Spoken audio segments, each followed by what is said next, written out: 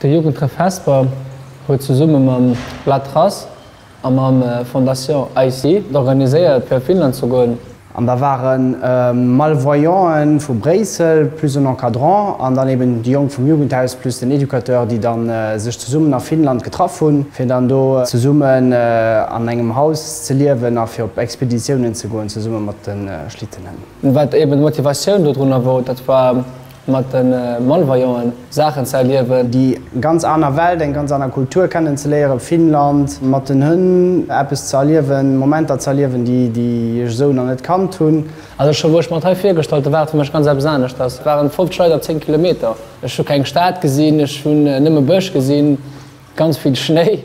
Et war auch immens kal. Also die Erfahrung war auch to, dass wir bei de Bei bei minus 21 Grad geschlufen. anebe mat den äh, Mathemalvaier zu schaffen. Gucke we, we sind die Leiit drop, wie gesinn sieht Welt, wie, wie kann e Martinen äh, eens gehen, die Herausforderung mat den Hënn, die Verantwortung iwwerhole fir Tënn, awer auch fir Malvoyant. Martinen zu kommuniceiere, we eben äh, Fenster stellen, wéi muss oppassen, wenn ich muss becken.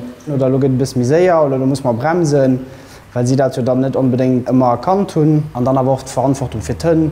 Iwwerholen, se pflegen, hin Zize gi, Martine Spaéiere goen, Ech werd nämlich hën. An dem wo viele du kommen sind, sind ich op ganz groß hin gelernt. Sie waren wirklich mega groß an wie ich Martinen op Tourgange sind Missschienen Patten auf Krazen an so, weil sie hatten immer mega viel Eis zwischen den Patten. Also ich noch ganz viel Plan ins Kind mir immer Zummer gemacht. Ich immer ganz viel dabei geholfen.